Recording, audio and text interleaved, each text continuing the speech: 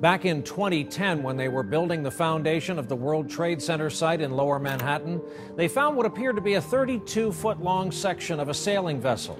Scientists tested the wood using a process called dendrochronology, a fancy name for counting the rings on the wood and determining age.